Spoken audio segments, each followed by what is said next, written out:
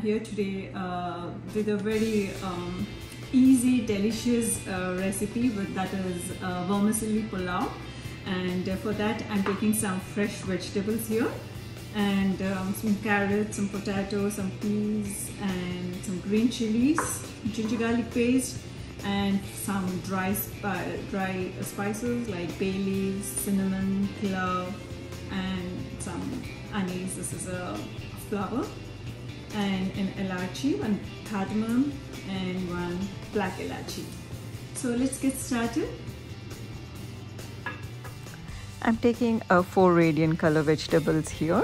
Uh, one cup of uh, bell pepper, one cup of carrots, some potatoes and frozen peas. Here you can add uh, vegetables your choice like beans, cauliflower and some green chilies and uh, um, non-roasted vermicelli here. I'll be roasting vermicelli later.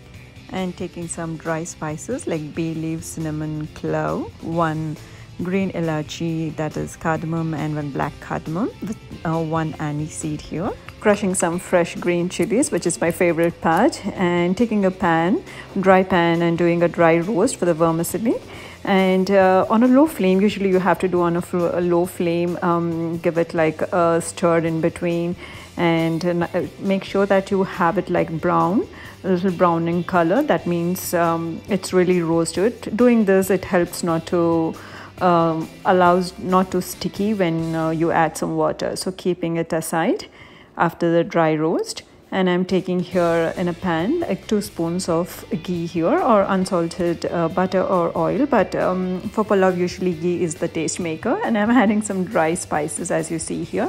Some bay leaf cinnamon clove and um, some cashews. Here you can add even raisins here but I'm just adding some cashews and giving a nice thorough stir fry for the cashews to be brown in color. And now here we go with some fresh bell peppers, some potatoes, you can see beautiful color vegetables. It's your choice, you can add fresh beans, but these are the four vegetables I'm adding here right now. You can see the radiant beautiful colors of the fresh vegetables. Giving a stir fry so that all the vegetables get slowly blended into the ghee and with the dry spices.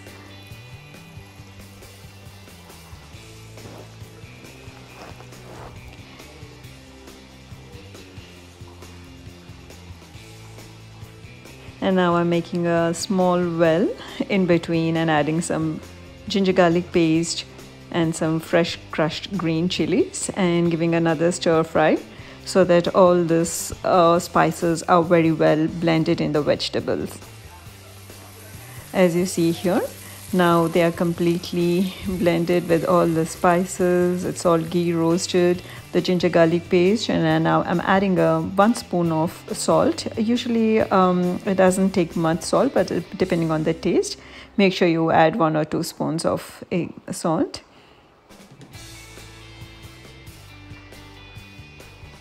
Giving another stir a small stir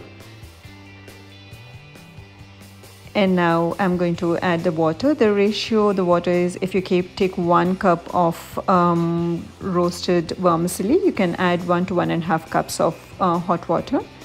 That's a ratio. So here I've taken uh, and in that ratio I'm adding some water to the vegetables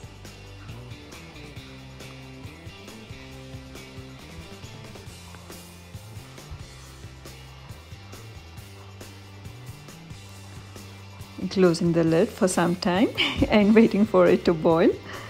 And now let's uh, see here my vegetables are completely cooked in the water. And oh my god such an aroma the ghee aroma. And now it's a time for me. Here i'm adding the dry roasted uh, vermicelli into it. You can add it slowly. And here you need not worry at all. They become sticky because there are two things. We have completely dry roasted and we have added water in proportion so as you see here, taking a spatula, I'm slowly blending the vermicelli into the vegetables. Give a very, very slow stir.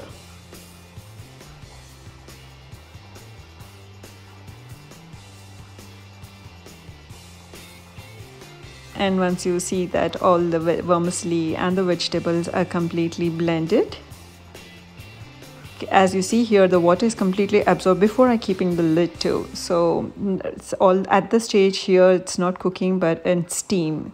Usually the vermicelli is steaming now. It's cooking in steam. So keeping the lid back for another 5 to 10 minutes in a low flame. Make sure to put it in a low flame.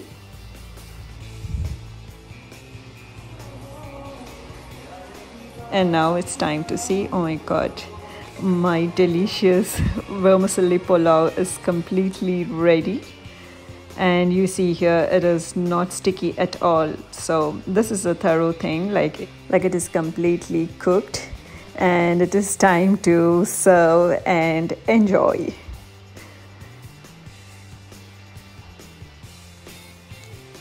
Oh my god you can see the beautiful color and the vermicelli cooked wow it really really tastes so delicious.